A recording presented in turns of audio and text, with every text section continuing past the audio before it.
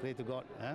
Can you comment on the NSC bill on people saying that the passing without royal assent is What bill? sign of passing the NSC bill without royal assent is a sign of disrespect because they are going to ask for it to be amended or for changes to be made. I think we have not, uh, uh, under our constitution, um, I've been made to understand that once the uh, both the houses have uh, debated, then whether it is with the assent or without the assent, uh, you know, after a few days, uh, it becomes law.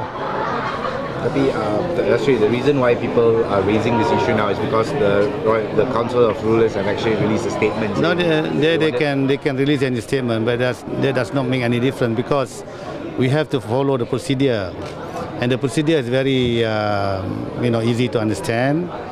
The bill needs to be um, uh, signed. Uh, sorry, needs to be approved by both houses. Okay, and then to be given to the Agong for his assent, which is signature. lah.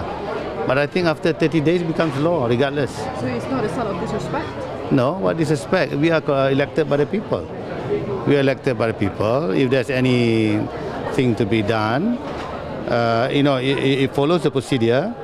If there's need, uh, if there is some uh, amendments to be made, it has to be made like uh, amendment to the bill.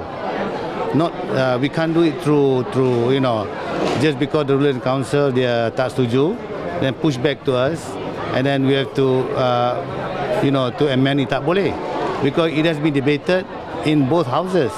Any new amendments must follow procedure. There will be the next round. Lah. Yeah, it's not possible. Yeah? It's not possible. It's, it's not a question of disrespect. Tidak ada jalan.